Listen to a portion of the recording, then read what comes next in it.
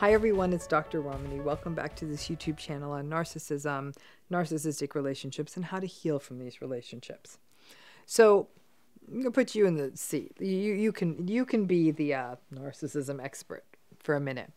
I want you to think of somebody who wants to keep maintaining a, a relationship with a narcissistic person in her life, like many of us, like me, like all of you. But how does she talk to this person about their narcissistic personality? You know, drop it in the comments. But I want you to think about how you would advise someone in your life that was experiencing this. Okay, to review that. So there's a person out there. They want to maintain a relationship with a narcissistic person in her life in her life because the, that person is important to her and she wants to help that person see their personality. What can she do? What is the best way to introduce the idea of narcissism to a narcissistic person who doesn't know they're narcissistic yet. It's tricky, right?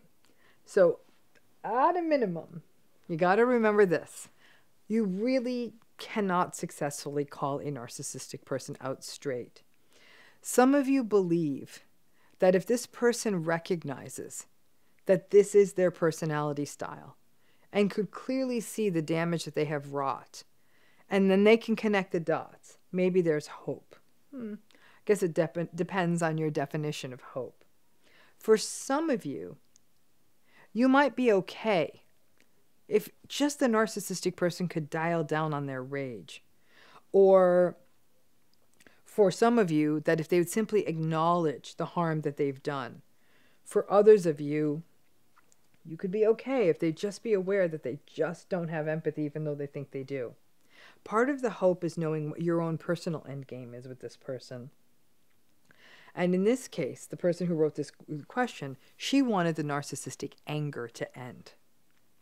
Remember, narcissistic people actually don't love what their anger makes them look like they don't like it's not a good brand to be looking unhinged and messy out out there. They don't like that. And they kind of hope that after they have one of their tantrums that people will forget about it or will, or will provide a justification or hope you'll justify it for them.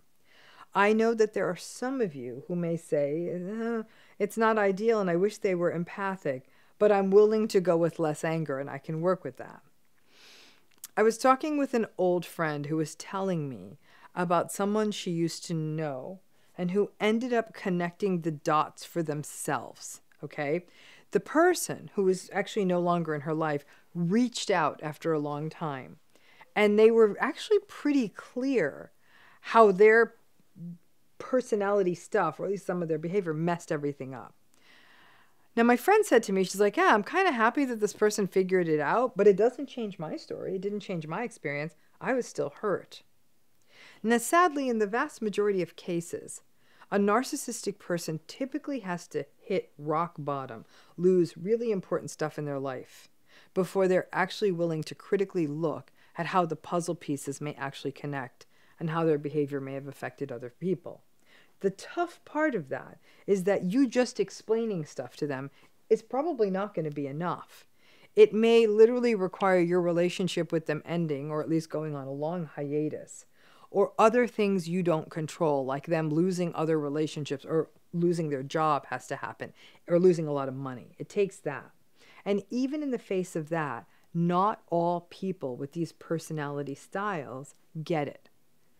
If you really are still wanting to gradually introduce this idea to them that mm, there's this thing called narcissism, I guess there's a few things you could try.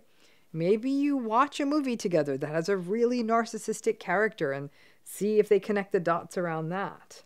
I don't know if that's going to work, but it's worth a shot.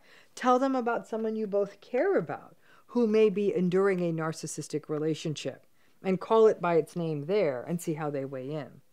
The challenge, even for us as therapists, is that we cannot come in too fast with suggestions or insights. It's a gradual, gradual process where the narcissistic person has to be the one who believes they came up with the insight and not that someone else was the one who's sort of explaining all of this to them. It is challenging as hell because you may actually have a compassionate view of their narcissism. You may understand where it came from. You may understand how it shows up in them. You may understand why they get angry. But even if you understand all of that, you may not be able to bear up under it anymore. There is no compassionate way to walk in through that door and share it with them.